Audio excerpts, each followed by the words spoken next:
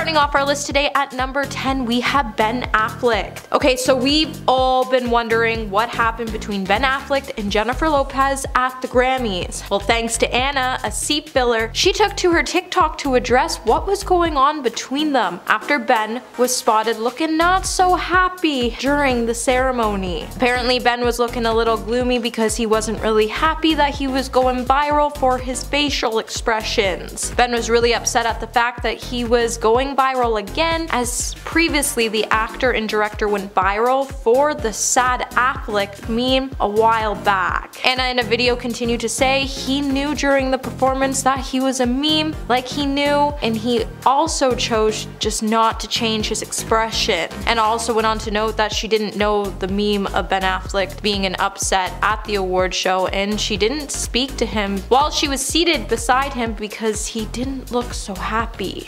Number 9. Trevor Noah After this year's Grammy, a girl named Pan exposed a bunch of celebrities at the Grammys and how they acted throughout the night. Now it's no lie that celebrities don't want seat fillers to sit next to them because they don't want any of their drama at their table to be revealed. So they do give them a bit of a hard time when they do try to fill empty seats so the tables don't look empty. When Pan sat down in one of Beyonce's seats, Beyonce's bodyguard, Julius DeBoer, even told her to leave the seat, which resulted in her taking a seat that Trevor Noah was in. While she was sitting in the seat, she was sitting beside JLo. Just when the commercial break started, Pan noticed that Trevor was making his way back over and when he arrived, he told her to stand up. When she did, he quickly sat down and started greeting JLo, which left the fan in a position where she didn't know where to go. Hey my little peaches, are you liking this video so far? If so, don't forget to give it a thumbs up and subscribe to the channel. Coming number 8, we have Jennifer Lopez. Lopez. While Anna was exposing what happened between Ben and JLo, she would explain that Jennifer was on her phone and realized that her husband was going viral for his expression. When she shared the news with Ben, he wasn't so happy about the trend. To the point when Jennifer showed him the phone, she said, honey, this is so funny, look at this. He responded by saying, Jesus Christ. So we all saw that video where a lip reader was hired by the Daily Mail that alleged that Jennifer told Ben to stop, look more friendly, and to look motivated. However, Anna claimed that the whole time the couple was actually super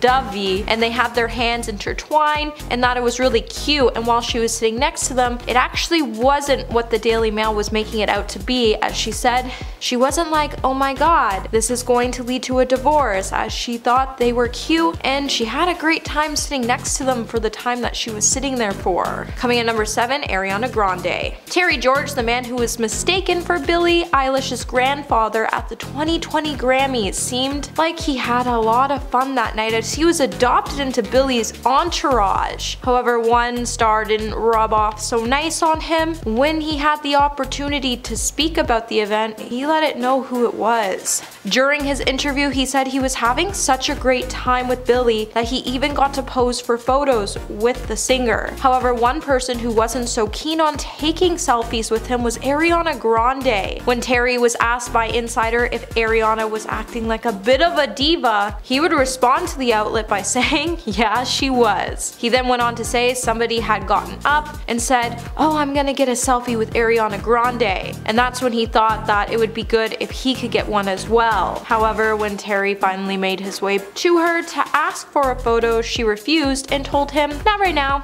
I'm not in the mood. Terry also went on to note that she didn't win an award that night, so that's probably why she was so upset and acting like a diva. Number 6.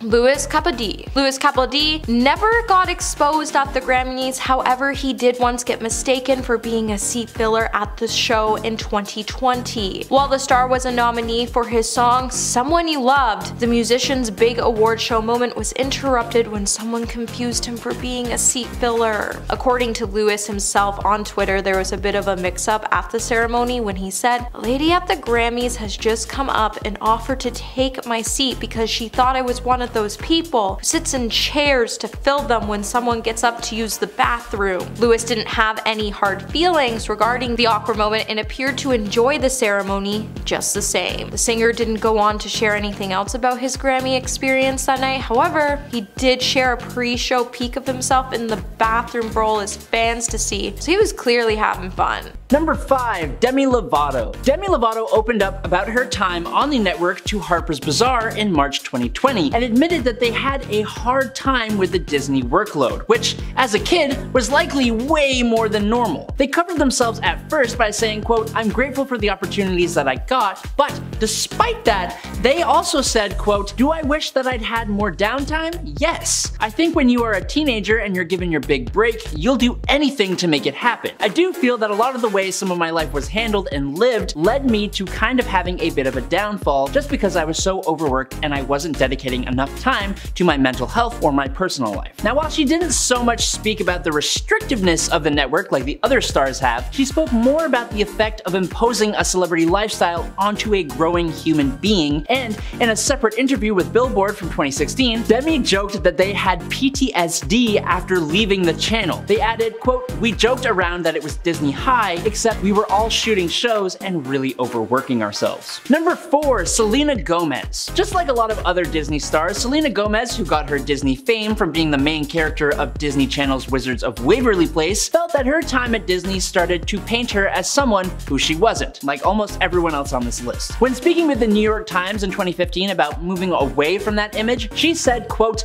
I'm growing and changing. I was in a relationship and I was being managed by my parents and I was still under Hollywood and Disney. And I was being held to this expectation of being the good girl. She continued, I knew deep down that this wasn't what I wanted to do. Being exhausted, forcing something that wasn't right, even in my personal life, I had to have moments where I was crying and I was like, why am I not in love with what I do? I was forced to get very uncomfortable for a while in order to make the decisions I made. Now, while that seems pretty much par for the course here, quite some time later, during the Television Critics Association press panel in August 2021, she elaborated on what I personally think is the main issue with becoming a Disney child star. She said, quote, I signed my life away to Disney at a very young age and I didn't know what I was doing because you know, she was a kid. Number 3. Coco Jones Coco Jones starred in the Disney Channel original movie Let It Shine, which is where she found her primary Disney Channel successes. But she also had recurring roles on two Disney series, So Random and Good Luck Charlie, competed in Radio Disney's The Next Big Thing singing competition, and signed with Hollywood Records music label, which is owned by Disney. But then, kind of as soon as it all started, it began to unwind. In a 2020 YouTube live stream, she revealed that a Let It Shine sequel was planned, but that it was canceled for reasons completely unknown to her. She was also apparently supposed to get her own show, which also never came to be. Hollywood Records, though, seemed to be the main cause for concern here. They dictated what the celeb could wear, say, and sing, and the people that the network supplied her to work with wanted her to sound, quote, sellable, which is a term that is up to interpretation by you guys. She put out a few singles and an EP, but right before her actual album was supposed to drop with the record label, the label dropped her. And apparently they told Coco, quote, we don't know what to do with you. At that point in her life, she was homeschooled after dropping out to make Disney and her career her priority. Afterwards, she understandably dealt with depression, but with the support of her parents, she graduated high school early and moved to LA. Going forward, she booked the role of Hilary Banks on Bel Air, signed a new record deal with High Standards and Def Jam Recordings, and dropped her major label debut single, Caliber. So good job. Number 2. Ashley Tisdale. Another heavyweight Disney star, Ashley Tisdale played Sharpay Evans in Disney's High School Musical trilogy and in her own spin-off Sharpay's Fabulous Adventure. She also played major roles in The Sweet Life of Zack and Cody and Phineas and Ferb. Now, after the first High School Musical movie, which, if you don't know, was huge, Ashley joined her castmates for High School Musical The Concert. While on the tour, which itself must have been both a dream come true and a nightmare with all the scheduling and little downtime, she also performed her own original song, He Said, She Said. However, similar to the experience that Jonas Brothers had, Disney made her change certain lyrics. In a TikTok, Ashley said that Disney made her change the line kissing like that to dancing like that for the tour. The original lyrics were baby I can see us moving like that, baby I can see us touching like that, baby I can see us kissing like that, we don't need no more he said she said. But while I get the image that Disney is trying to uphold here, I don't believe changing an artist's original work is fair. Just take the song out in its entirety. That would have been my idea. I think that would still not be okay. So just like, I don't know, leave it alone. And finally, in at number one, Alyson Stoner. You may recognize Alyson Stoner for her supporting roles in actually quite a few Disney Channel productions, like The Sweet Life of Zack and Cody, Camp Rock, Camp Rock 2, The Final Jam, and Phineas and Ferb. I remember them best from Cheaper by the Dozen, but that's just me. They have been one of those few Disney Channel veterans that has actually tried to make things better for other stars going forward, and they've been pretty vocal about some of Disney's shenanigans. In a 2021 YouTube interview, Alyson said, while traversing extreme peaks and valleys of global fame, hidden medical hospitalizations, artistic milestones, rapid adultification, and multi-layered mistreatment I wish on no one, I narrowly survived the toddler to train wreck pipeline. That's a hell of a way to describe surviving Disney. They went on to say, as someone who lived it and witnessed thousands endure alongside me, I can attest that what is missing from the pipeline narrative are clear action plans for intervention, long-term prevention, and accountability from studios, agencies, and guardians. Unlike other stars, Alyson turned their experience into ideas to improve the safety and well-being of other children in entertainment, such as requiring studios to have a mental health professional on set, improving child labor laws, and making media and industry literacy courses mandatory for guardians and representatives. One of my favorite quotes from the celeb, though, goes like this, quote, if we disrupt and heal the toddler to train wreck pipeline, we won't need another cautionary memoir. And that's actually helpful. At number 10, we have Chris Pratt. Chris Pratt had several odd jobs before he made it as an actor. While Chris spent some of his time living in a van in Hawaii, the star could be found working as a babysitter, a server, lawnmower, and he was also a stripper. Chris would tell BuzzFeed in 2013 that being a stripper allowed him to be free and to make money while he was doing it, and he was never embarrassed about being one. After all, he did get his job at the age of 18 after he auditioned to become one. He also revealed that he even stripped at a grandmother's birthday party for $40 back in the day, and while the star has gone to call himself an average dancer, the grandmother definitely appreciated the gesture. At number 9 we have Channing Tatum. Now, fans of Channing Tatum are aware that the actor was an exotic dancer before he starred in movies like 21 Jump Street and Step Up. Before Channing rose to fame, he used to perform at a strip club in Tampa, Florida. A video sold to US Weekly in 2009 showed Channing dancing for guests who were clearly pleased. In 2011, Channing would sit down in an interview with GQ and he would explain that he was never ashamed nor did he regret one thing about being a stripper back in the day. He also states that he doesn't miss anything about stripping. The star would strip in front of 25 girls and said there was nothing glamorous about it whatsoever. However, Magic Mike would definitely prove otherwise. Are you enjoying this video so far? If so, don't forget to give it a thumbs up and subscribe to the channel. And number 8 we have Courtney Love. Courtney Love earned her success as a solo artist as a lead singer and guitarist in the 90s rock band Hole. Aside from being married to Kurt Cobain, Courtney was popular for releasing hits such as Malibu. However, while most know Courtney for her hit singles, many don't know that Courtney used to work at Jumbo's and Seventh Veil as an exotic dancer. The singer used to make around $300 a day, and she would be able to use her earned money to help her fund her band. However, the singer has stated that due to low income, that she did have to be extremely financially savvy before she was able to make it as an artist. At number 7 we have Cardi B. Now, if you search Cardi B on the internet, it will give you endless results about her career and how she started. However, it's clear that this star is definitely living her best life and we're all here for it. Her hit song, Bodak Yellow, definitely didn't make it a secret that she was actually a stripper before she decided to change her career path to become a musician she is today. At the age of 18 after losing her job, the star decided to become an exotic dancer after the person firing her told her to do so. When she started, she knew she was going to make money and that the career was going to pay more than any other. The star would then quit dancing by the time she was 23 and would then become a global icon in rapping. And number 6 today we have Azealia Banks. Rapper, singer, actress, and writer Azealia Banks began her career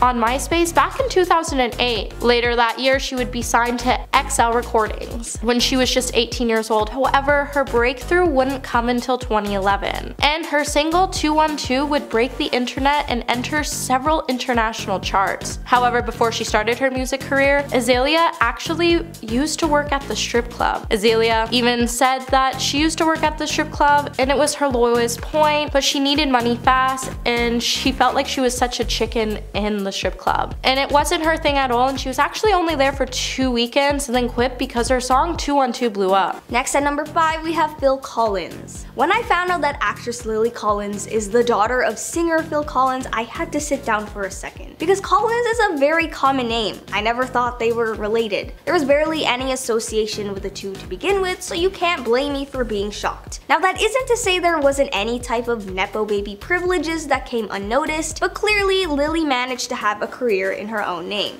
We'll talk about her Nepo privileges another time. As it turns out, she isn't his only successful kid either. In total, he has five children, including Lily, and most of them are successful in their own career paths. His eldest daughter, Joely, started her own production company. His eldest son, Simon, is a musician, taking after his father's profession. Simon said that Phil provided his earliest music education by giving him albums to listen to. His fourth, Nick, is also looking into a musical career and started his own band called Better Strangers. As for his youngest, Matthew, it's a mystery, but there's no doubt he has an endless supply of connections in the entertainment industry if he really wanted. And he's still young, so he has time. At number 4 we have Snoop Dogg and Brandy. The two cousins, yes, you heard that right, cousins, have their own successful music careers spanning decades. In case you've been living under a rock, Snoop Dogg is a rapper with a personality higher than life, if you know what I mean. Whereas Brandy is a singer, songwriter, and actress most known for her R&B sound and for playing iconic roles such as Cinderella. Usually when we find out that celebrities are cousins, it tends to fall on the distant cousin type of way. But these two are actually first cousins. Their respective music careers were always separate as they never used each other to boost themselves within the industry. That's because they didn't need to as they both managed to create their own solid fan bases throughout the 90s.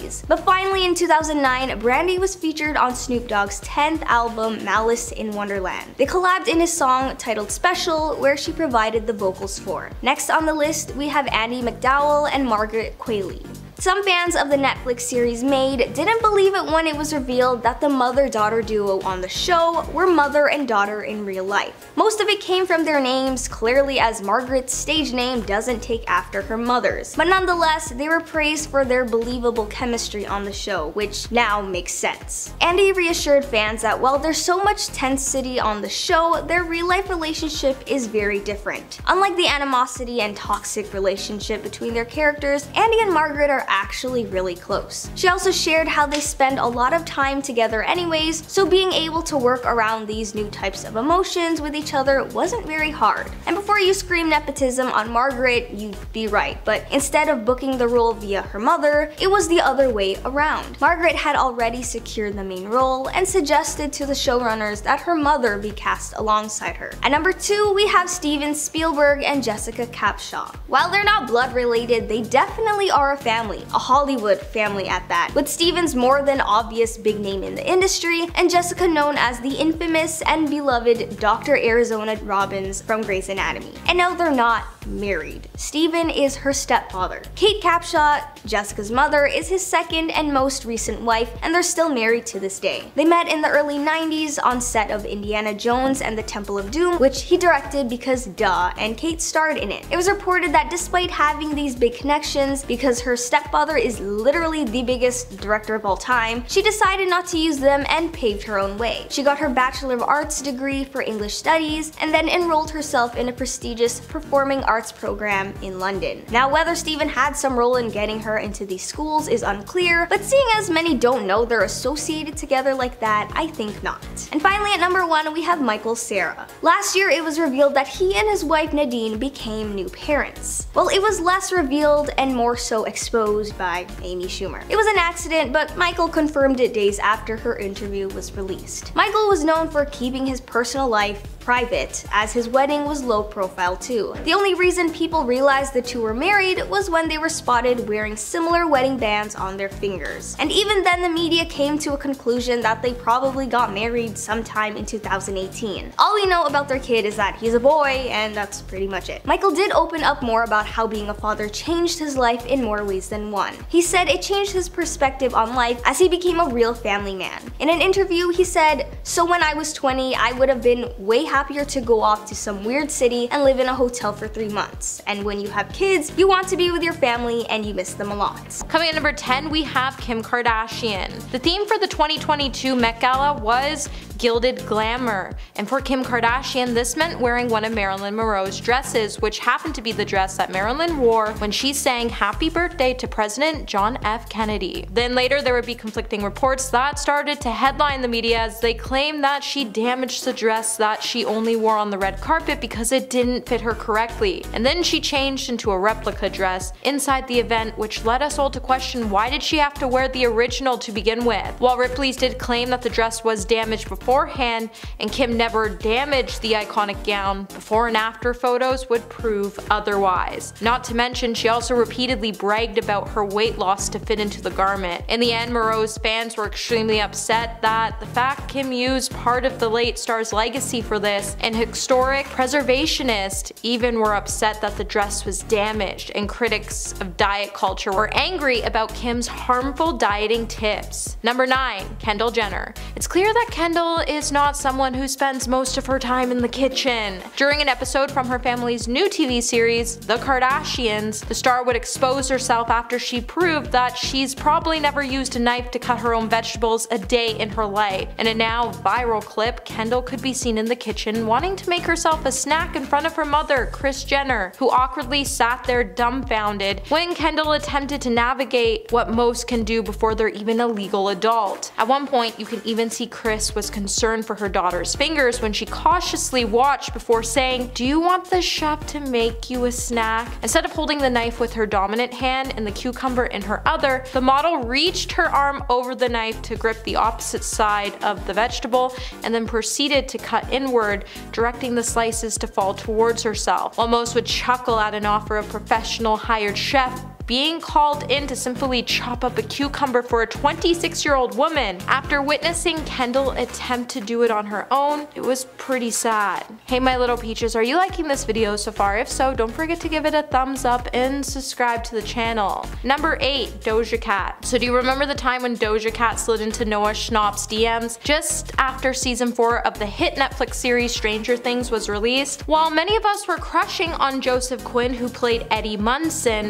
it appears appears that Doja Cat wanted to get him before anyone else did, so she decided the best way to do it was to slide into the DMs of Joseph's co-star, Noah Schnapp, to see if Joseph was single and then proceeded to ask Noah to send her a link on his Instagram. The internet then began to rage as Noah is still considered a child and Doja is a full-grown woman. Noah then responded by sending Doja the link and then he decided it was too weird so he read the DMs out loud for his TikTok fans to hear. In the end, Doja Cat would then be furious that Noah decided to expose her and described his actions as him being a borderline snake. Eventually, Noah did have a good laugh and he did apologize to Doja Cat for exposing the video and then he went on to delete the video. But not before the internet called out Doja Cat for being 29 years old and messaging a 17 year old. Like come on Chrissy, just wake up and realize that wasn't okay. Number 7. Adam Levine. Back in September, Adam Levine would be plastered all over the headlines after model Sumner Stroff exposed Adam Levine in a series of shocking TikTok videos. Just shortly after Adam and his wife announced they were expecting their third child. In the videos, Sumner would claim that she and Adam had an affair and she even provided screenshots of their conversations as proof so people knew she wasn't lying. In the beginning, Adam would then try to deny the affair and he took to his Instagram Instagram to write a statement which said, I use poor judgment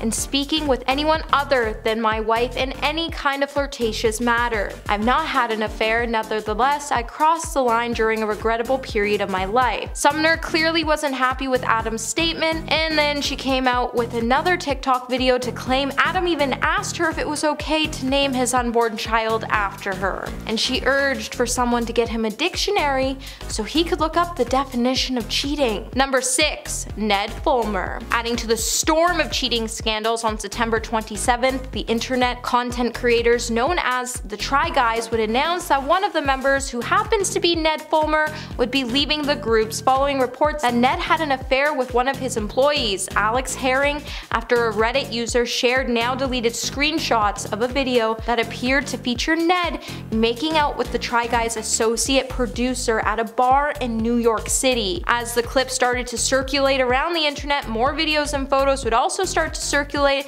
of Alex and Ned on dates that looked pretty intimate and people who posted the images even said they sent them to his wife because they were concerned. This would then force the Try Guys to post a statement which said Ned was no longer working with the Try Guys as a result of a thorough internal review. We do not see a path moving forward together. Soon after the announcement, the Try Guys even switched out their profile picture of all four members with the company's official logo across Instagram and Twitter before making an additional video statement clarify that they were blindsided by the news of Ned's behavior. Number 5. Jason Biggs In the early seasons of Teenage Mutant Ninja Turtles on Nickelodeon, Jason Biggs could be heard voicing lead turtle Leonardo, but scandal quickly erupted at the network when it was revealed that his social media activity was offensive enough that there were many calls to Nickelodeon to protest his involvement with the show. So in 2014, after only two seasons, he was ultimately replaced by Seth Green on the popular series, and for a good reason. Jason's Twitter in the 2010s was a PR nightmare. In fact, there didn't seem to be any topic too controversial for him to joke about, like a bachelorette contestant who died, a plane crash, the Pope, women's basketball, and sexually explicit comments about the politician Paul Ryan's wife. But the jokes backfired big time when the official Ninja Turtles Twitter account gave a shout out to Jason's personal account and encouraged their followers to check it out. It's safe to say that the kid-friendly and PG network is not pleased with the immense backlash that they started receiving from parenting groups and conservative bloggers, eventually leading them to release a statement apologizing, while Fox News host Megyn Kelly called the American Pie actor a disgusting pig and called for him to be fired. Ultimately, the network responded to the pressure and gave Jason the boot. Number 4. Angelique Bates The actress who was one of the original cast members on Nick's sketch comedy show All That exposed the reality behind the cameras when she spoke to the Shade Room in 2016. Angelique explains some of the horror she endured such as physical, emotional, and mental mistreatment from her mother in front of producers who not only turned the other cheek, but strongly urged her to just accept the violence and remain silent. She said that she was only 12 years old when the nightmare began, and that the producers and cast members could hear her yelling, but nothing was done to help her. According to Angelique, Child Protective Services did eventually show up in 1996, but she said that the adults on set pressured her to stay silent. Possibly in an attempt to muddy the waters or save her own skin, Angelique's mother, Dee Bates, came forward in support of her daughter, although she tried to shift the blame onto the network. Whatever the case with her mother's questionable side of the story, the former child star also explained that she was pretty much released from her contract at age 15 and claimed that she was blackballed by the entertainment industry as a result. But to this day, Nickelodeon have never come forward with an official response to the accusations. Number 3. Victorious Canadian actor Avan Jogia had his breakthrough role playing Beck Oliver in Victorious, but after Jennette McCurdy's bombshell allegations regarding Dan Schneider, fans really started to question whether or not he had the same experience. In a recent TikTok video, Avan admitted that he did not actually remember filming the series at all, because he was blackout drunk almost every night. Quote, when you don't remember a single plotline to a single Victorious episode, but you do remember going out partying every night. When one fan added that the show seemed like a fever dream to her, Avan just said me too and I was there. And when another fan asked so Beck was hungover all the time, he just said yes.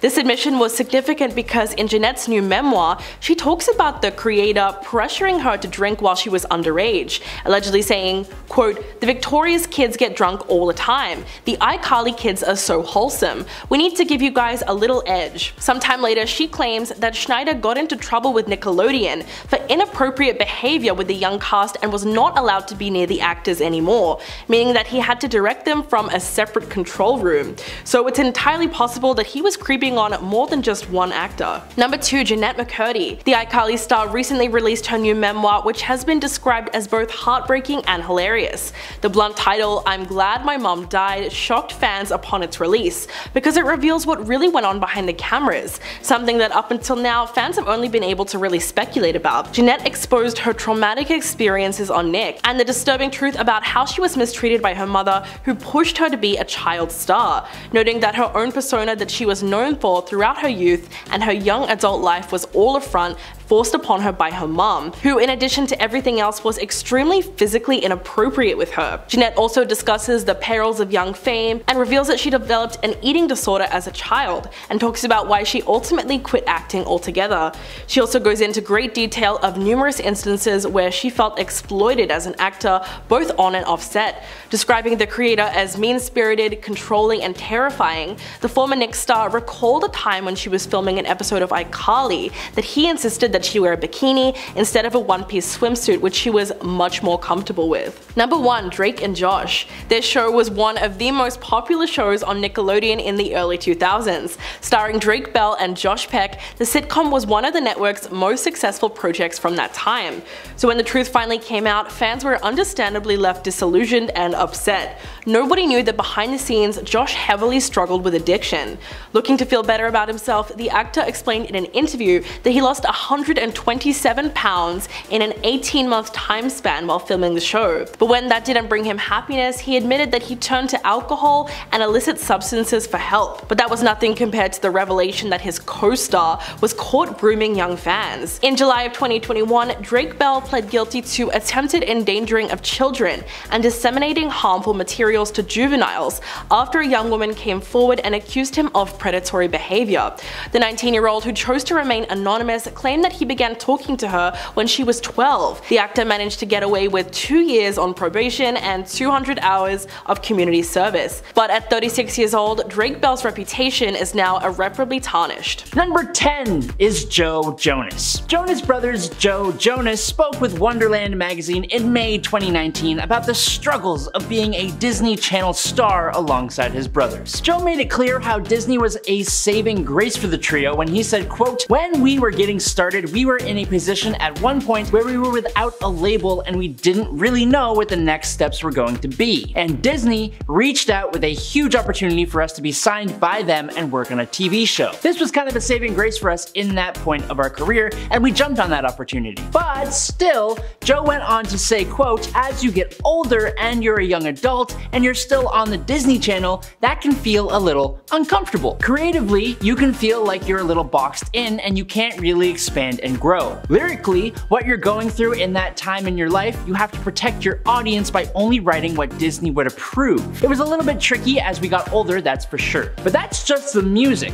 While chatting with Vulture way back in 2013, Joe called out the Disney Channel for its apparently terrible writing and strict rules for their film projects. He said, quote, it just ended up being some weird slapstick humor that only a 10 year old would laugh at. They took out the kissing scene that Nick had. I had to shave every day because they wanted me to pretend like I was 16 when I was 20. When the show was done, I cut my hair off and grew as much of a beard as I could. We went along with it at the time because we thought Disney was our only real shot, and we were terrified that it could all be taken away from us at any moment. Now that is the truth of the matter. Disney child stars are all terrified of having Disney pull the rug out from under them, but that'll become more obvious as we continue on. At number 9 today is Miley Cyrus. Miley Cyrus was probably one of the most popular of the Disney stars with Hannah Montana, where she played a dual life. While the popularity of her show is a huge reason for her popularity now, that doesn't mean it's all peaches and cream. Speaking with Marie Claire back in 2015, the actress and singer explained how being Hannah Montana impacted her mental health, saying, quote, I was told for so long what a girl is supposed to be from being on Hannah Montana. I was made to look like someone that I wasn't, which probably caused some body dysmorphia because I had been made pretty every day for so long, and then when I wasn't on that show, I was like, who the F am I? That really spells out the effects of being a child star. In a February 2019 interview on the RuPaul What's the Tea podcast, Miley elaborated on her disillusion with herself when she said, quote, I didn't really get to be a kid very much because I worked so much, but I wanted that. Since the last record, my last record was called Younger Now,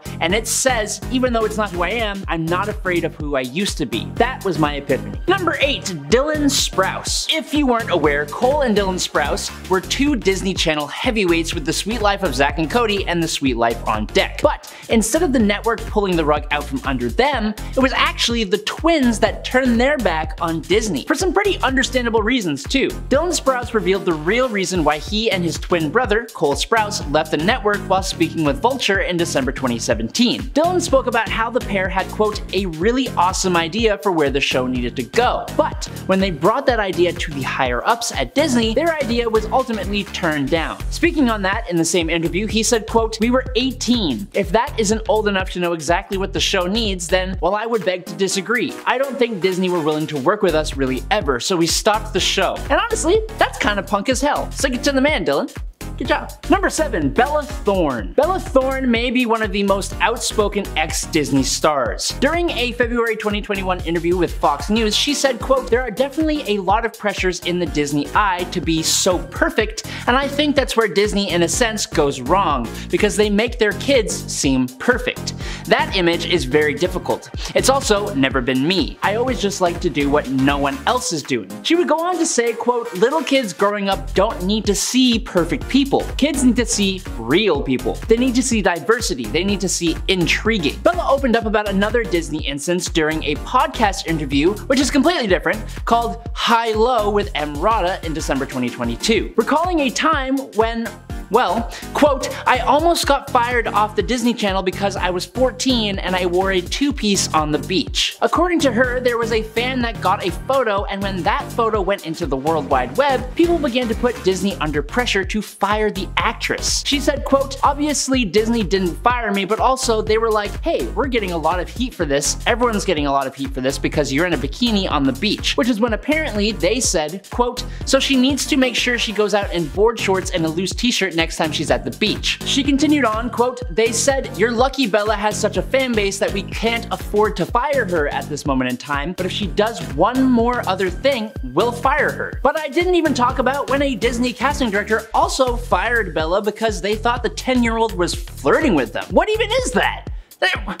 What? Number 6. Stephanie Scott. While she had released music and acted a little bit before her time at Disney, Stephanie Scott played the role of Lexi Reed on Disney Channel's Ant Farm from 2011 to 2014, which won her a second Young Artist Award and introduced her to a wider audience. While on Disney, she also recorded a bunch of Disney Channel promotional singles, which were released between 2008 and 2012. However, despite her success and time with Disney, in a 2015 interview interview with BuzzFeed, the actress threw some major shade at the network. She claimed that her role as Lexi Reed forced her to, quote, sugarcoat everything all the time. She said, quote, that's one of the hardest things, not being able to express myself in a certain way or being stuck having to promote something or say something I don't believe in. It's kind of hard after a while when you are feeling things and having a rough time in your personal life and you can't express your emotions through your work, which heavily echoes the feelings of the other stars on this list. Stephanie explained, quote, I wanted to tell stories of troubled girls where everything isn't perfect all the time. I didn't want it to stop there and be labeled as a Disney girl. I quickly realized I wanted to do more. If you've been on a Disney show, people target you as being the sitcom funny girl who can't take herself seriously and doesn't really have true emotions because they have to be perfect and pure, not shattered and torn in any way. Number 5. He's immortal. A celebrity's birthday party. It's some of Hollywood's most exclusive events. You really gotta know someone to get invited to celebrate their birth. At Leo DiCaprio's 48th birthday, a number of A-list celebrities were in attendance. LeBron James was there, Rami Malek, Scott Eastwood, Mario Lopez, people who seemingly have nothing to do with Leo, uh, except one thing. You see, there's a dark corner of the internet that's dedicated to the idea that Hollywood elites are actually in a cult and make sacrifices to keep themselves rich and young. Leo is definitely on the list of possible members, not only due to his activity in the climate change community, literally trying to alter the air, but his never aging face. Many older actors in Hollywood have young faces. Just look at Paul Rudd. Paul Rudd hasn't aged since 1991, which must have been when he was inducted as the leader. There is some evidence supporting this theory. Leo only dates younger people, and famously, younger people are popular for sacrifices in film. His so-called friends are all frozen in time, and let's face it, some of these people sold something to someone to magically gain their fame. Yeah, I'm looking at you, Casey Affleck. Number 4. Bad Friends The Leonardo DiCaprio Foundation auctioned off dates with two of Hollywood's biggest predators at their annual fundraising auction in 2015. YouTube won't allow us to say these people's names anymore or show their faces because that's just how terrible these people were. So to help put a face to the situation, uh, they were two of the men that were brought down by the Me Too movement. They were like the first ones, and one was a producer for Quentin Tarantino, the other one was the lead of House of Cards. So for the purposes of this list, we will refer to them as Java the Hutt and Spaceman. Should be pretty easy to differentiate the two. The foundation auctioned off a chance to spend a year working and enjoying private time with Java and Spaceman. In hindsight, this is one of the weirdest things a person could bid on. It doesn't matter who the people are, you're basically just paying to have famous friends for a year. Leo brought these men back for this event several times. Now, while it was before the allegations of their misdeeds were confirmed to the public, Leo was very close to these men for a long time. He worked with Java on several big budget projects, and he's been close with Spaceman and his family since his early 20s. Gee, I wonder why Spaceman wanted him around. With these being some of the people he's associated with, we can only imagine the other people that he might keep secret in his life. He's a man of wealth, influence, and power. The idea that his friend list and the Me Too list are one and the same, eh, it's definitely in the realm of possibility. Number 3. He inspired Home Alone. Leonardo was born on November 11th in 1974 in Los Angeles. He was an only child growing up and his parents, Irmelin and George DiCaprio, have been pretty vocal about his rowdy behavior growing up. From a young age, it was obvious that he was going to do something creative. They recall him constantly running around the house, impersonating people, and doing little sketches for them from time to time. One thing they pointed out though was that, that Leo had a tendency to pull stunts on his parents with elaborate traps and contraptions. His antics were first mentioned in the early 90s while doing an interview with his parents. Coincidentally, a little holiday movie called Home Alone was made not long after that. It's a film starring a kid using elaborate traps, contraptions, and voices to take out the bad guys trying to invade his house. And to trick a pizza guy for some reason, I don't know, that scene always seemed cruel to me. Is this a coincidence? I don't think so. It wouldn't come as any kind of a surprise that some Hollywood hotshot heard this story and molded it into the classic flick that we know now. His parents called them antics, but if Leo did anything even close to Kevin McCallister in that movie, ooh, he has definitely ended some lives. Number 2. Don's Plum. No, this entry is not about a man named Don and his obsession with plums, that's gonna be another list. Today we're talking about Leonardo's greatest regret. In 2001, he released a movie titled Don's Plum, starring himself, Tobey Maguire, and several more of his younger male friends. The film has been banned from ever being shown in theaters in the US and Canada. Why? Well, this was basically Misogyny the movie. The plot centered around the crew meeting up once a week to discuss their recent romantic escapades and overall life experience. Oh, they also bring a new girl every week and just treat them like absolute garbage. This film is filled with terrible dialogue, graphic depictions of violence against women, with Leo's character even going so far as to threaten a woman with a glass bottle. That particular scene is very intense, but what's more intense is that the dialogue in the scene was improvised by DiCaprio on set, meaning that behind his calm, quiet demeanor, there may be a truly horrifying man. No normal person would have said the things that he said in that moment, so Seriously, check him out. And number one, he's immature. In 2013, Leonardo DiCaprio played a character named Jay Gatsby in the movie adaptation of F. Scott Fitzgerald's 1925 novel, The Great Gatsby. The plot centers around the titular character who has been throwing extravagantly lavish parties at his home without anybody knowing who he actually is. People just show up to the party and never wonder where or who their host is. It would appear that this role was meant for Leo as he's been known to throw a mega bash or two in his time. The problem though is DiCaprio DiCaprio's real life persona is much more immature than his on-screen counterpart. According to past partygoers, Leo has been known to go hard. While he's never taken any illicit substances, he really likes that no-no juice mixed with a little bit of OJ. His behavior has been erratic, and he's apparently very easily excitable. This is unfortunate to hear as Leo is normally very well spoken, and with being an active member in the climate change community, you'd think he'd have like the mentality of a 70-year-old Harvard grad. But instead, he's apparently more of a Kyle, mentally speaking. If you know, you know.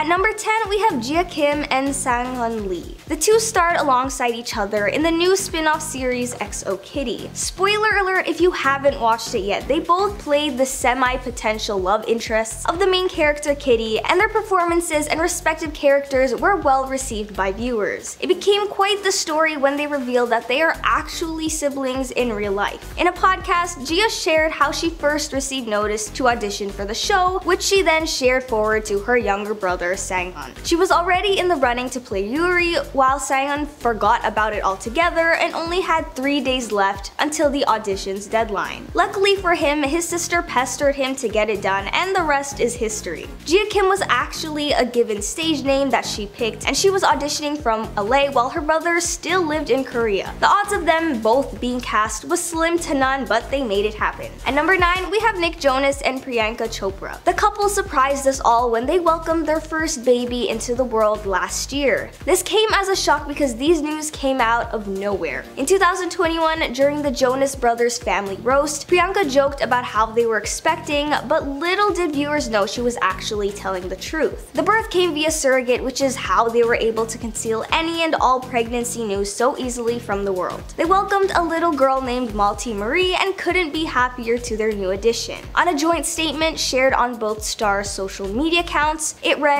We are overjoyed to confirm that we have welcomed a baby via surrogate. We respectfully ask for your privacy during this special time as we focus on our family. Thank you very much. They received tons of praises and congratulations from fans and other celebrity friends of theirs. Baby Malti had a bit of a rough start upon her first few hours as a newborn as she had to remain in the ICU or intensive care unit for 100 days. Fortunately, that is all she needed as she was then taken home and has been growing healthy ever since. Priyanka would often post pictures of their daughter but made sure to cover her face entirely. That was until January this year when she made her first public appearance at the Hollywood Walk of Fame ceremony. Nick and his brothers Joe and Kevin were anointed their own plaques along the tourist-driven road. Next on the list we have Elon Musk and Grimes. Okay, so we all know their first kid's name is X something, or apparently it's pronounced Ash A12. The internet was up in flames when their poor kid was first announced, but did you know they had another kid because I didn't? Their second child, a daughter, was literally born a year later, but this made little to no noise. Maybe it's because her name is more normal compared to her older brother. Her name is Exa Dark Sidereal. I'm gonna be honest, that's kind of a fire name because it sounds like the name of a sci-fi character. But despite this very unique name, Grimes just refers to her as Y. Why? Well, if I told you that by simply asking that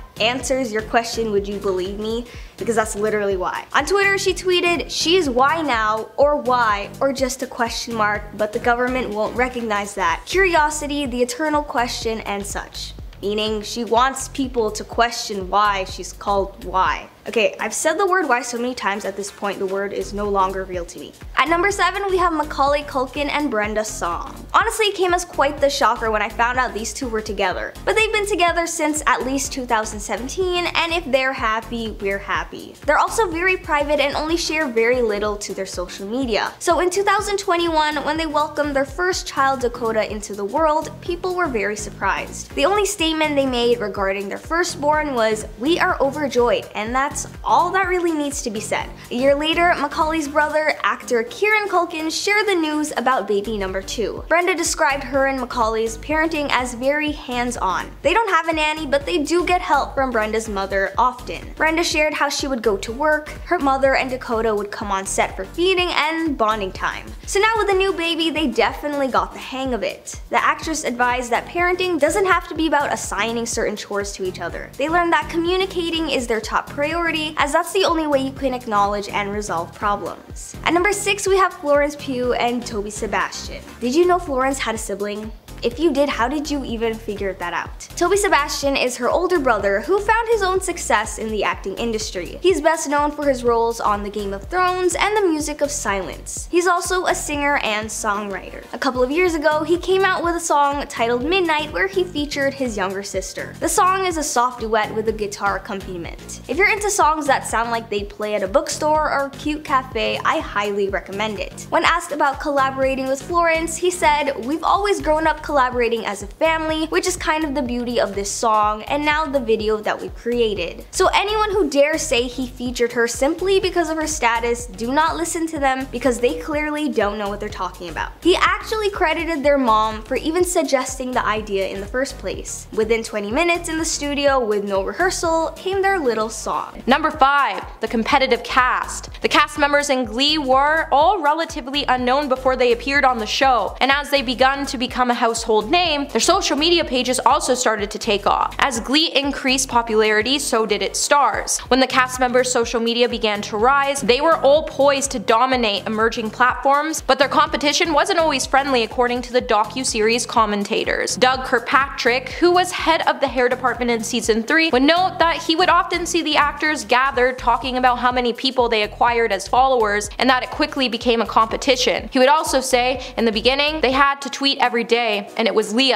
who really had the numbers. Journalist Andy Swift would also note that the actors started competing on their social media pages and they almost began to fight about it immediately. So it must have hurt a lot knowing that even in real life they would be insuperior to Lea Michele. Number 4. Peer pressure. One of the most controversial allegations in the documentary hinted that Cory Monteith was sober before his passing, but that a co-star encouraged him to drink and it went downhill from there. In the documentary, hair department head Doug Kirkpatrick recalled one of the final times he saw Cory in the troubling story the actor allegedly told him. Doug would say he wasn't drinking, he didn't have any substances in his system, and then the very last couple of days I saw him, he was different. He was under the influence of alcohol, he said he was at a party, he hadn't been drinking, he wanted to have a drink but knew he shouldn't, and he was told by a certain cast member that same night, you know, if you want to have a drink, you should have a drink. I'll be here for you. You can always trust that I'll be here for you. Doug also would go on to add his opinion by saying, in my opinion, you would never say that to someone who is sober, and so that confused him and kind of made him mad, and he started drinking because he was given permission by somebody. While Doug did refuse to mention any names, he would choose to keep the alleged Glee member a secret because he wasn't there when it happened and he didn't hear the Glee member say it in person himself. However, Doug would add that Cory resented it but also took the direction and that he believes this was the moment that sent him on the path to self-destruction. Mark Salling was largely unknown before he landed the role as Noah Puck Puckerman, who was Finn's best friend and like Cory, he was a bit older than the rest of the cast. At the time, it has been said that both Mark and Cory were 26 when Glee premiered. But according to Munch, Salling's age wasn't the only thing that made him stand out among his co-stars. Munch would say he was quieter, for sure, and kept to himself because I think he felt more of an adult than the others. Just was, you know, a bit off and he wasn't just a regular young man. He had some issues going on, it seemed obvious. Then a few months after Glee ended its sixth season run in 2015, Salling was arrested for possession of illegal photos and videos that contained younger people on them, a charge he ultimately pleaded guilty as part of a plea deal. He then took his own life on January 30th, 2018, shortly before he was scheduled to be sentenced. Even Glee director of photography Christopher Baffa from seasons 1, 2, 3 would say Salling's offset behavior didn't jive the person he experienced, but he acknowledged that actors are typically on their best behavior once they get around the crew. How did he get there? He was a great guy. What happened? I don't know. Number 2 forced return. While creator Ryan Murphy now believes Glee should have ended after Cory's passing, at the time he largely left the decision up to Lea Michele, with various options on the table including a 6 month hiatus or cancelling the show altogether, Lea chose to return to work just 2 weeks after her boyfriend and co-star's passing. Back in 2013 Lea would tell Ellen, I said we have to go back to work, we have to, they're my family. However, many of the cast members interviewed in the docu-series were not supportive of this call. Jody Tanka said it was only a couple couple of weeks, all of the actors had just pulled themselves together to get back to work. Everyone was kind of forced to. J.A. Byerly, a rigging gaffer on seasons 1 to 5, said Fox was conscious that, Glee was about to cross the 100 episode mark, traditional threshold for ultra profitable. They wanted a product, so we spit out a project. They were looking for 100 episodes. In October 2013, Glee paid tribute to Cory in The Quarterback, the third episode of season 5, and the episode follows the members of the Glee Club as they cope with their grief in the wake of Finn's passing, honoring his memory with emotional performances of songs from season from Season of Love, If I Die Young, and Make You Feel My Love. Glee ultimately went on for two more seasons after Cory's passing, but Byerly says he was never far from the cast and crew's minds, and you could always feel an emptiness because Cory wasn't around anymore. And coming in at number one today, we have the Glee curse. Over the past few years, there's been much talk about the Glee curse, but the cast seemed to reject this theory. Kyle Burch would say, I remember someone mentioning the Glee curse to one of the cast members, and they got pretty upset about it because they were like, no, this show is not cursed. There is no Glee curse. Eric Greer would add that bad things happen, it's life, and unfortunately with Glee there was more tragedy than any other show, but not everything can be full with sunshine and rainbows. Christopher Baffa would also add that ultimately, those close to Glee want the show to be remembered for spreading inclusivity and positivity, not tragedy. He would also say, I don't think Glee is ever going to outlive the tragedies of some of the cast tensions or some of the things that were said about it, but I'd hate to have those aspects as real as they are take away from the good that was achieved because I do believe that good was achieved. Number 10, iCarly's stunt double. If you want to know something that proves the people at Nickelodeon only care about money, I've got a scandal for you that was almost swept under the rug entirely. In 2014, a stunt woman from iCarly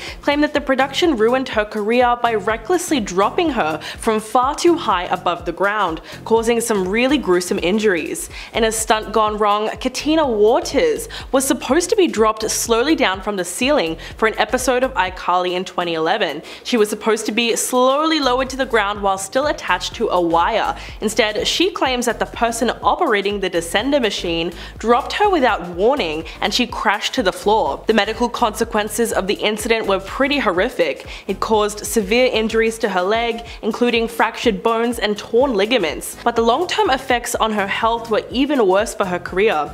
Waters was a highly successful stunt actor who performed in dozens of TV shows and movies, but of course she missed out on a lot of work following the incident. Subsequently, she decided to sue the producer, Schneider's Bakery, plus Nickelodeon and MTV networks for pain, suffering, and loss of earnings. And she made the right decision as it later emerged that it wasn't the first time something like that had happened on the show. Number 9. The Gak After seeing countless celebrities being slimed on TV for years, there was an extremely high demand for Nickelodeon to release their iconic gooey green sludge to the public. This led the network to release what they called Gak into toy stores across the country in 1992, much to the delight of 90s kids everywhere. The product wasn't exactly slime that they had on the Nick shows, it was more like a squishy putty that made funny noises when you pressed it between your hands.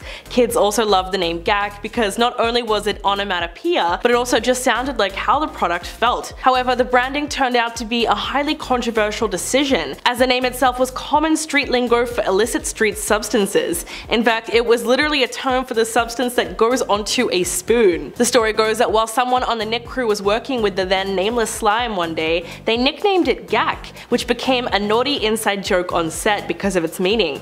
Game show host Mark Summers was in on the joke too and eventually started saying it live on air, but Nickelodeon's marketing department allegedly had no idea and just cluelessly went along with it. Number 8. The voice of Dora. The network had a really big mess on their hands when Caitlin Sanchez, the teenager who starred on Dora the Explorer until she reached puberty, alleged that when she made the deal with Nickelodeon to voice the iconic character, she was given just 22 minutes to sign the contract without an experienced lawyer. The young star did so under duress, with the alleged promise that she'd receive residuals for her work, plus money from merchandising. This was in 2007, years before Dora the Explorer was established as an $11 billion global brand. So in 2010, Caitlin sued Nickelodeon and MTV networks for making her sign what she believed was a terrible contract that conned her out of millions, specifically citing unpaid work hours, as well as being paid only $40 for promotional appearances.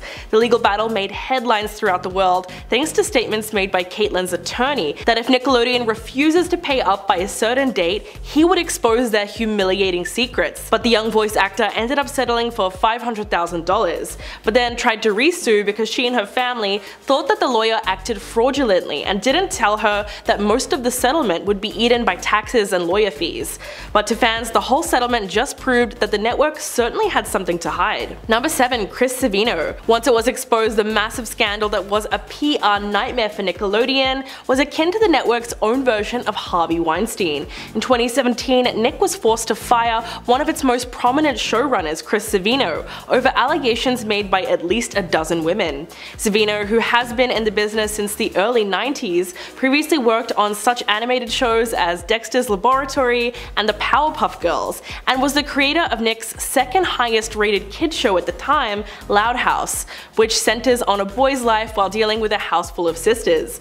According to Cartoon Brew, as many as 12 women came forward to accuse Savino of predatory behavior, including unwanted sexual advances and threats of blacklisting after the relationships with co-workers had ended. What's even more disturbing is that the site said that the reports date back at least a decade. One woman said that she didn't accept an offer to work at Nickelodeon simply because Savino worked there. She alleged that when they both worked for Disney, he sent her explicit text messages and photos, and once offered her a job in exchange for inappropriate things. And Walker Farrell, the director of Bojack Horseman, also came forward with her own Savino horror story from the early 2000s, when both of them worked at Cartoon Network. Just goes to show you how cases involving power and inappropriate behavior infect almost every corner of Hollywood. Number 6. Zoey 101 The show was a boarding school set dramedy that hit Nickelodeon in January of 2005. Starring as protagonist Zoey Brooks, Jamie Lynn Spears was reportedly brought on by its creator Dan Schneider, all because she looked a lot like her older sister and superstar Britney Spears. But little did fans know there was actually a scandal brewing behind the set, as its star was just 16 when she fell pregnant, which would have been a bombshell for the very PG show. In her memoir, Things I Should Have Said, Jamie Lynn Spears confessed that her team decided that her pop star sister should not be told about her pregnancy because it was too risky. Quote, the entire Spears team was already caught up in my sister's PR difficulties, and everyone around me just wanted to make this issue disappear. From there, her family and management pulled her out of school until they could figure out what to do next, and even took away her phone for fear that the news would get out. As a result, the actress said that even her father stopped talking to her. But once the news was released, Nickelodeon immediately released a statement saying, We respect Jamie Lynn's decision to take responsibility in a sensitive and personal situation and after wrapping shooting for the fourth season of Zoey 101, the network cancelled the series altogether. Number 5. Will Smith At the Oscars on March 27, 2022, Will Smith would show us all that there was something concerning going on with his mental health and state of being as he exposed his darker side. During Chris Rock's speech, he would opt to make an inappropriate joke about Jada Pinkett's shaved head. The joke clearly didn't sit well with Will as Jada has been suffering from a condition called alopecia. So he took to the stage and smacked Rock across the face. As producers scrambled backstage, Smith would return to his seat and remain there until he accepted his award for Best Actor for his role in the film King Richard. The internet would then start to explode with their opinions on the matter, and while the Smith family mostly stayed offline, well, except for Jada, the Academy would end up banning Will from attending the ceremony for 10 years, though he can still be nominated and win an Oscar. After the ceremony, Will would make an official apology to Chris, and he would then enter into a rehabilitation facility to help him work on his mental health. Number 4. Sydney Sweeney On August 27, Sydney Sweeney would take to her Instagram to post some images of her mother Lisa's Western themed 60th birthday celebration and would expose her family with photos that showed some of the relatives wearing Make America Great Again hats and Blue Lives Matter t-shirts. While the actress did not appear to make any political statements herself, while most people started to go crazy in the actor's comments, one person claiming that the actress exposed her family's political views, another asked why she was kicking it with people wearing Blue Lives Matter merch. Sydney would then later come out to say, you guys, this is wild. An innocent celebration for my mom's milestone 60th birthday party has turned into an absurd political statement which was not the intention. Please stop making assumptions. Much love to everyone and happy birthday mom. However, you can't really ask your fans to stop making assumptions when there's nothing really to assume. And no matter what the occasion is, it's never okay to wear any of this merchandise items. And each of her family was wearing these because it was a country themed party but hate isn't country. Number 3. Kris Jenner Roughly 6 months after Kanye West's feud with his ex-wife Kim Kardashian started, in September Kanye would go after the reality TV star and this time he would drag Kris Jenner into things and confirm that she was really the one who released Kim's tape. After Kanye hopped back onto his platform after months of disappearing, he would share several explosive messages towards Kim and in the process he would express his disapproval towards Kim's parenting styles as he accused her of playing games with their four children. In Kanye's post, he would also claim that he wanted to take control over his kids in their future by declaring, My kids are going to Donda, they are not going to Sierra Canyon, foretelling Kris to grab her mother effing popcorn. Things would then take another turn when Kanye started to point out that Kris Jenner encourages her daughters, mainly Kim and Kylie, to appear in adult magazines and release their infamous tapes. As he was scared, Kris would make his own kids participate in the same endeavors in the future. Number 2. Amber Heard 2022 was a big year for Amber Heard as it would be the year the star would crash and burn after all of her lies were exposed. While Amber was hoping her dark past wouldn't catch up to her, it certainly did and when her biggest secret was exposed after she tried to ruin Johnny Depp's career, while Amber was trying to claim that she was a public figure representing domestic abuse.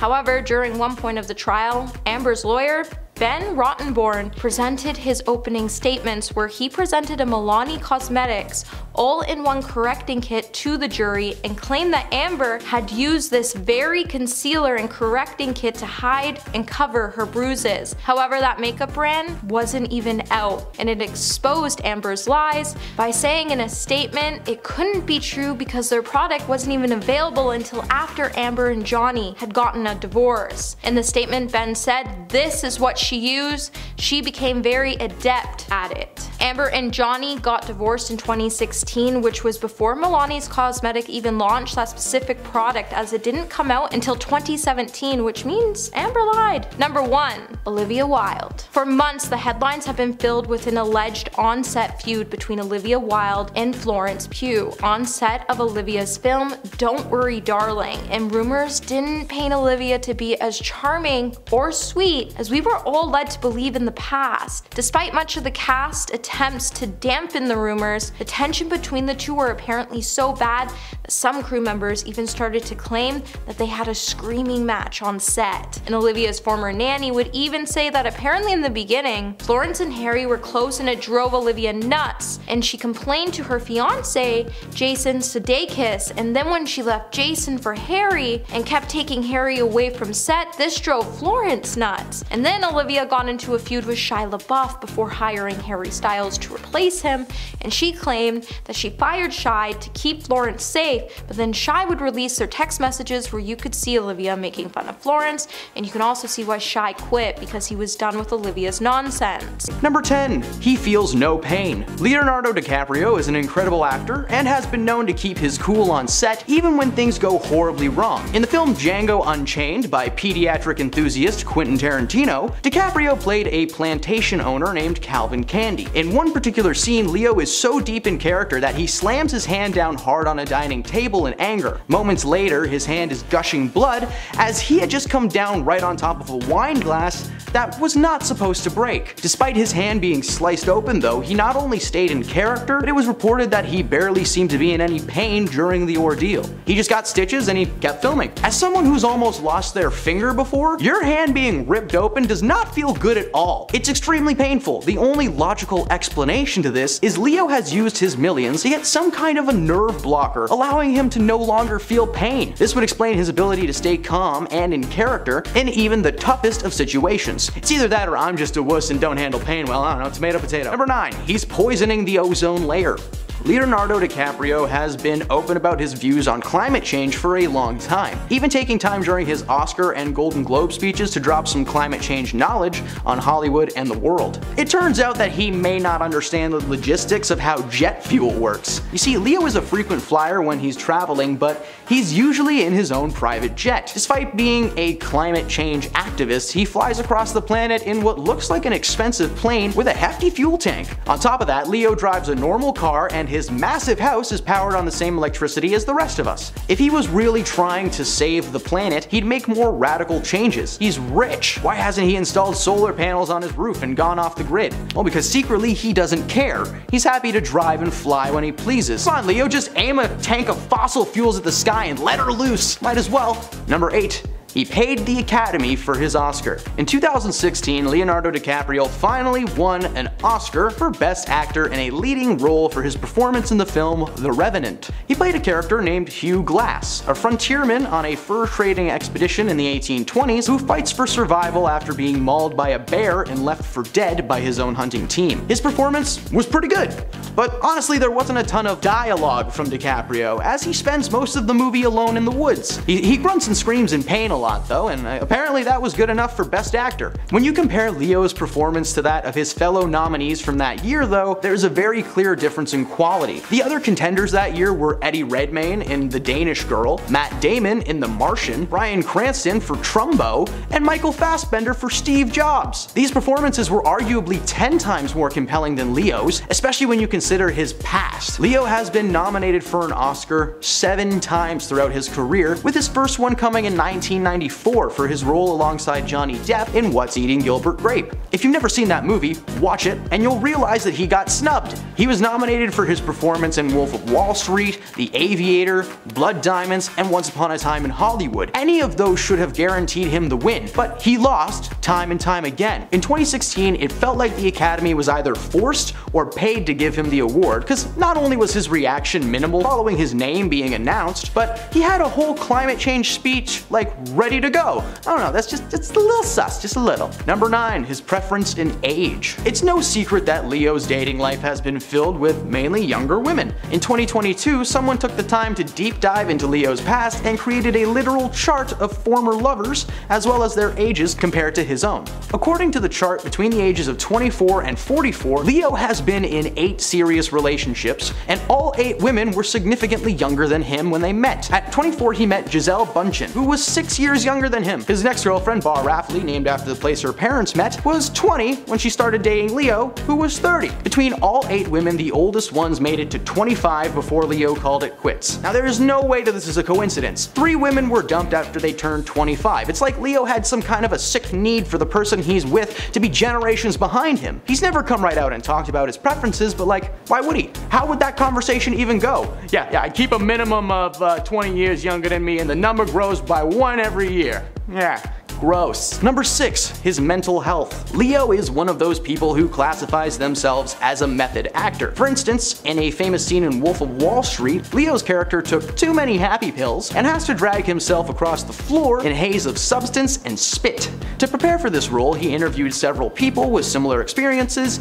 and he would rehearse his physicality over and over again before the scenes. Now, while that's not a great example, this one is. Anytime Leo has to play a character with some kind of an emotional detachment or mental health issue, he's been known to completely isolate himself from the world. For his role in Shutter Island, he played a detective sent to an asylum on a remote island to investigate the mysterious disappearance of one of the inmates. The film is wonderfully dark and full of mystery, right up to the final reveal, which I won't spoil just in case you want to watch Shutter Island. To prepare for this performance, Leo isolated himself in an apartment for three months and had it set up like a police precinct. He even hired a ghostwriter to give him fake crimes to solve so he could really step into the mentality of the role. While this may work for many people, the facts are that Leo has become more reserved over the years and he speaks with a very low volume and tone now. Did all that isolation make him go crazy for real? Probably. Number 5. The Rock. Ben Affleck and Jennifer Lopez wouldn't be the only one exposed during the 2023 Grammy show this year, as Pan, who won a spot to be a seat filler at the event, explained throughout the show her job was to fill seats so no empty seats were shown on camera. Well, sometimes this can be really difficult for the seat fillers as some celebrities just refuse to let them sit next to them or tell them that their partners or friends are actually sitting in them and that they'll be back soon and to not take their seats.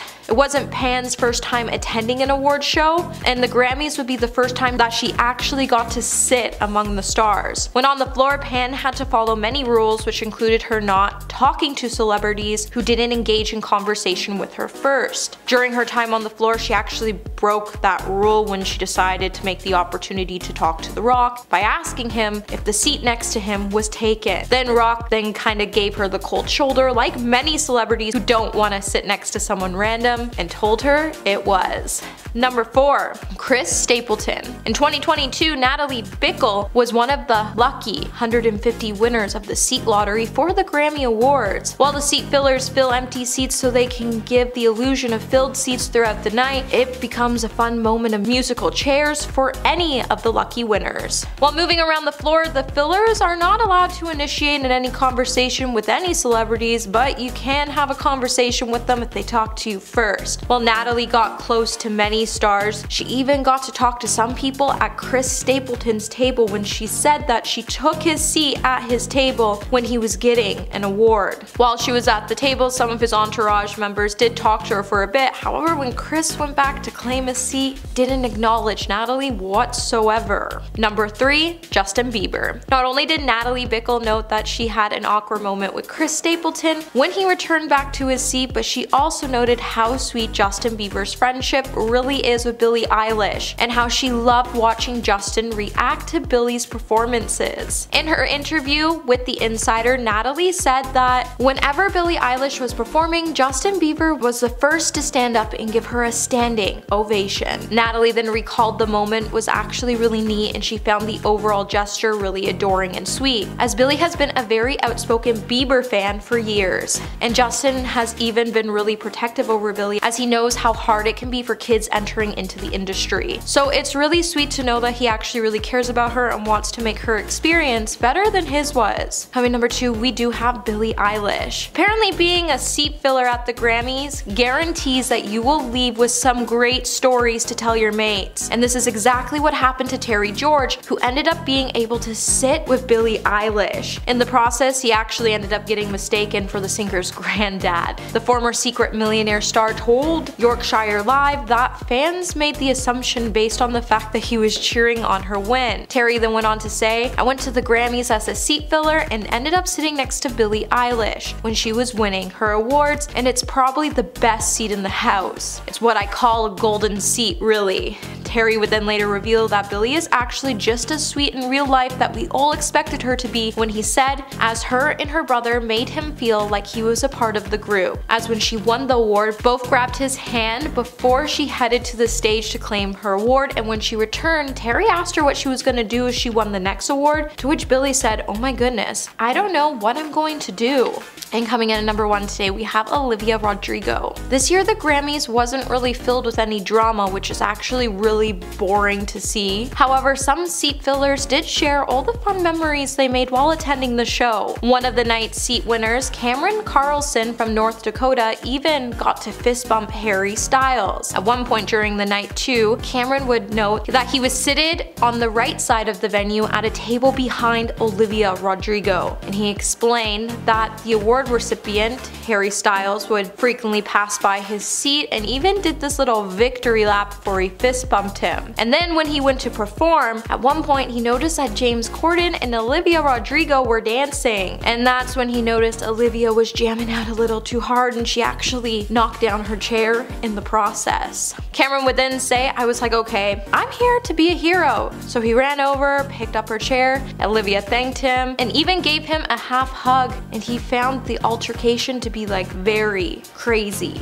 Coming in at number 10, we have Cory Monteith's substance struggles. According to Frederick Robertson, during the early Glee days, Cory Monteith was really concerned about maintaining a clean image. When he got the role, he knew he was supposed to be a good kid, and he didn't want his past getting out. With Glee being the beginning of his success, he didn't want the world to know that he was struggling with alcohol and substances. While his struggles may have been kept a secret to the public, Cory had no problem with disclosing them to his close friends and roommate, Justin Neal. In 2008, Cory would admit to Justin about his substance use in the past and that he was trying to stay sober as it was a big part of his life. According to the docu-series, Cory started skipping school to do substances at the age of 13 and he went on to attend a dozen schools, including programs for troubled teens and often stole large sums of cash from his family. At the age of 19, his mother and friends staged an intervention, leading him to enter into a rehab program in 2001. It wasn't until Glee's second season that he went public with his struggles, admitting in an interview that he wanted to share his past so people didn't assume he was exactly like his all-star character, Finn Hudson, by saying, I feel like I had to step in at some point and relate to people with my experience and where I come from. Cory's publicist, Leslie Diana, also said he wanted to go public to help others as Cory wanted to show them that you could come out on the other side and do well in life. Number 9. Cory and Lea's relationship. Glee stars Lea Michele and Cory Monteith didn't go public with their relationship until 2012, but according to Garrett Greer, an assistant to the executive producer on seasons 1 and 2, they first got together years earlier in 2009. He would go on to say they had been an item before the show premiered, and during season 1,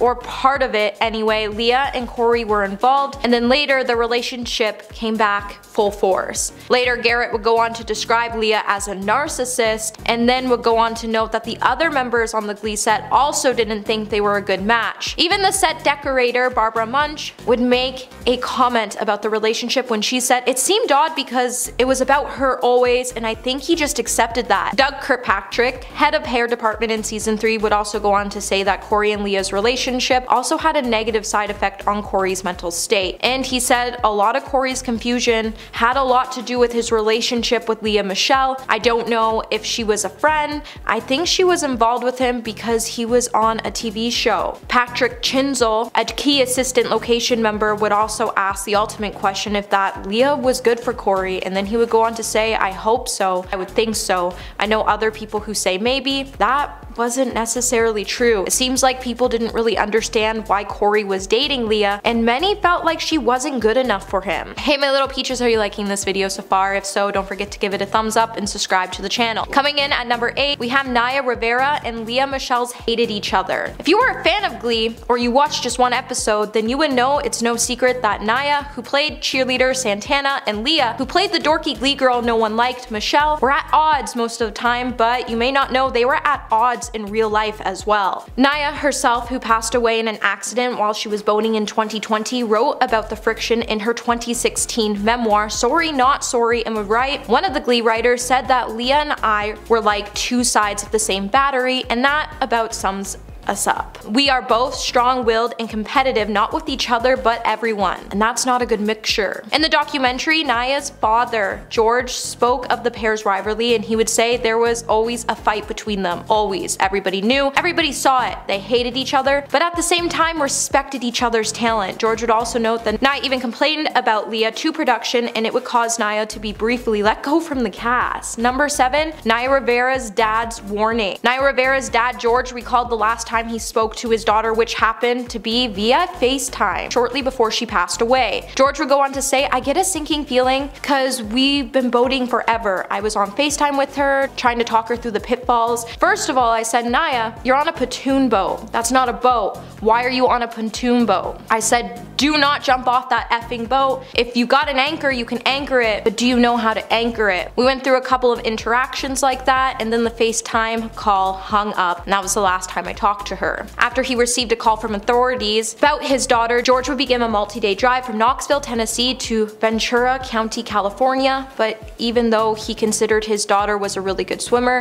he instinctively feared the worst by saying, I knew immediately when I got the phone call in Knoxville that it was over. You don't find a drifting five-year-old child asleep on the boat at the end of the lake without his mother and have any hope. I had no hope. And speaking about his grief, he would also say, I don't process it, I don't know what everyone else does, but for me, it's as fresh today as it was two years ago. He would also later add that Naya knew she was on a really good show with lots of tragedies, and that he didn't know if you could equate that to fame, but he thought it had something to do with it. Number 6. Fame.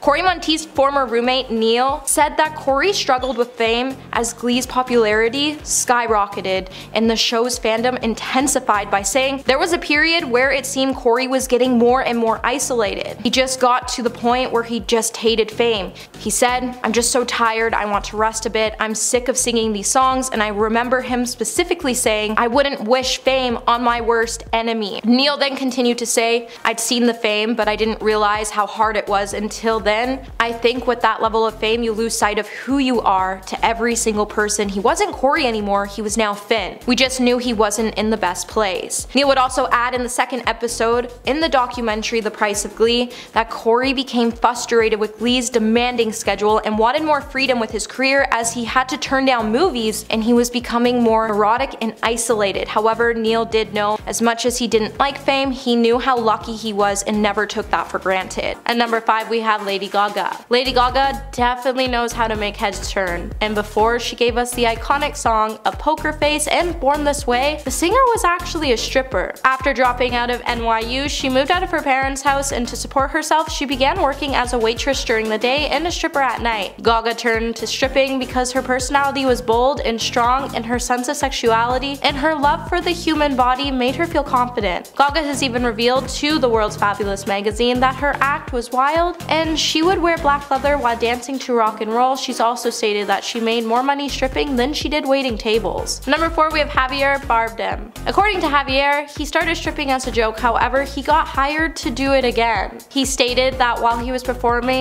it was a disaster and his mother and sister were out in the crowd to support him. On Ellen, Javier would say that he was 20 at the time and after he got hired to perform, he was so nervous that he called up his mom and sister to accompany him to the club. When it was time for Javier to perform, he stated that there was only three people in the club. He was embarrassed, however, since he was a performer and he gave his word to do the show, he ultimately decided to do the show and became a stripper for the day. At number 3 we have Amber Rose. While some celebrities decide to brush their past right under the carpet, Amber Rose has always chosen to speak her mind away about them. One career Amber has always been very vocal about is the fact that she used to be a stripper. In an interview, she even claimed that she had some of her best times in her life while she was an exotic dancer, and she's even given some words of wisdom for anybody looking to join the field. The multi-talented singer has suggested that as long as anybody's looking to get into the field goes in with their heads up, stays sober, and focuses on making money, then the job will be like any other. She's also advised that anybody who's comfortable with their body should give it a try right away. After stripping, Amber would then move on to modeling and then to acting. At number 2 we have Trina. American singer Trina never wanted to do anything with music. So after high school she wanted to pursue a career in real estate. However, when she accompanied her friends to shoot a music video, another musician noticed her and asked her if she ever wanted to give music a try. Trina would initially decline, however she would later agree and the rest is history. Now before Trina became a musician, she has admitted that she tried dancing for money but quickly realized it was never for her. Her career barely lasted a week before she decided to officially opt out. And at number 1 today we have Kat Stacks. After being born in Venezuela, Kat Stacks would relocate to the United States when she was just 8 years old. She would then grow into the sensational rapper and hip hop musician she is today. Apart from her music career, Kat has had a pretty controversial lifestyle, and she's even tried her hand at exotic dancing. In an interview with 97.9 FM radio, Kat revealed that she was a stripper at the age of and she recounts her time in her as a stripper as traumatizing and that she just did whatever she could to get by. Since entering into the industry, the rapper has never been short to surprise the world with scandals and controversies.